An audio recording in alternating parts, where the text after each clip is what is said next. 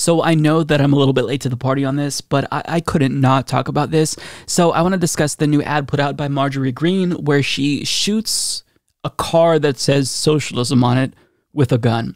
Now, I get why people are kind of taken aback by this because it's kind of a tacit endorsement of violence, but this whole meme of Republicans pretending to be tough and shooting things that they don't like in their political ads, it's not new. Like the trope has existed for quite some time. I can recall politicians back in the 2010s, you know, they'd print up the entire thousand plus Affordable Care Act legislation and then shoot it with a gun and they'd say that's what we're going to do to Obamacare, and it's just extremely cringeworthy. And this is what Marjorie Taylor Greene did when she was running for Congress. She literally wrote socialism on a sign and she shot it.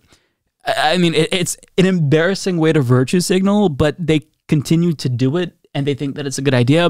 But a lot of people are talking about it, and so I want to join this conversation because I have quite a bit to say about this. So, uh, nevertheless, take it away, Marjorie.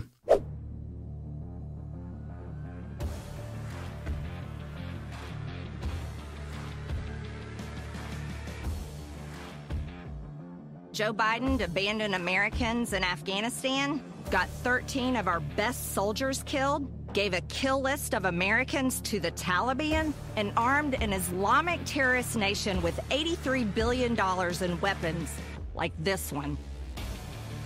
Biden should be impeached. Now I'm doing a gun giveaway of my own, but for Americans only. I want you to win this 50 caliber rifle that Democrats will ban if they keep the House next year. While Joe Biden broke America's pledge to never leave a man behind, Nancy Pelosi is sneaking the Green New Deal into the $3.5 trillion budget. And in 2022, I'm going to blow away the Democrat socialist agenda.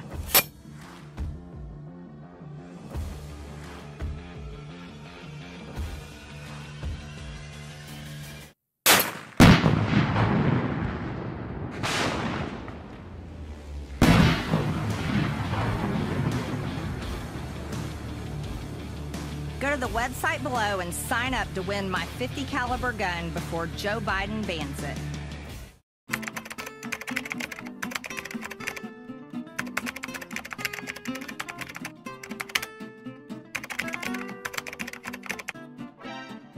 Well, I, for one, uh, believe that socialism has been thoroughly destroyed because she shot a car that had socialism printed on This it. This woman is mentally ill. I just, I, I feel like even though it's Marjorie Greene and she's incredibly idiotic, there's got to be something deep inside of her that maybe just leads to her question for a second should I be doing this as a grown adult? Is this a little bit childish? Is this a little bit cringeworthy? But there, there's no, there's nothing, right? That mechanism, that self awareness thing that's inside of us that gets us to think twice about embarrassing things that we do, she doesn't have that. It's lacking in her. Like, what do you think that's going to accomplish? You're a politician. So, is shooting a car that looks like a perfectly good car, is that really the best way to like promote your message? I, I just, if it's that easy, then um, I'm going to try it. Give me a second.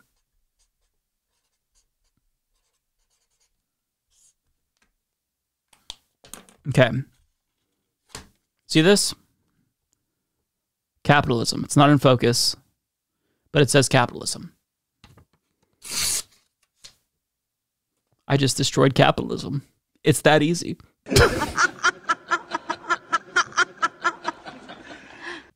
Even though I'm joking, like I feel like a douchebag doing that because it's so fucking stupid. It's so cringeworthy. And at the rate that she's going, like with how absurd her ads are becoming, I wouldn't be surprised if this was the next ad that she put out.